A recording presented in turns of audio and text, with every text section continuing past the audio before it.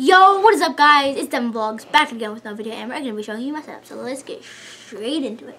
So, first of all, we have this light, very bright light.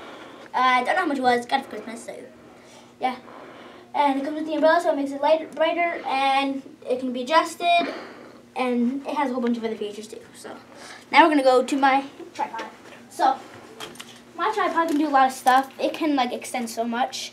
Like I can make it the super smallest ever, and I can just hold it like this if I really wanted to. Watch, I'll show you.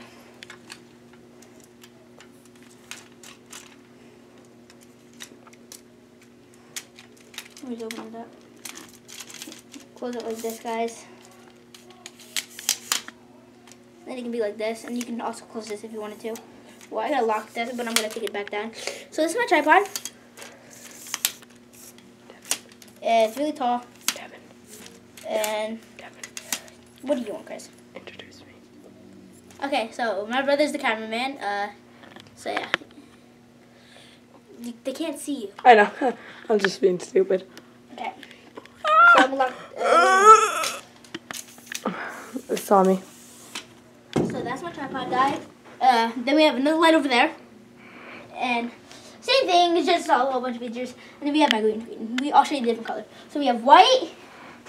We can actually make it a green screen with the green, and then we have the black. So I'll set it out so you guys can see the colors and then my colors, guys. Come show them. And and guys, after this video, um, when I upload it, I'm gonna make a camera video and camera review. It's the Canon Vixia HF 800. That's what it is, guys. We'll make a review on it after, and we'll do a review on some of my other stuff, and we'll make some fun videos. So, peace out, be fly, and subscribe. Peace.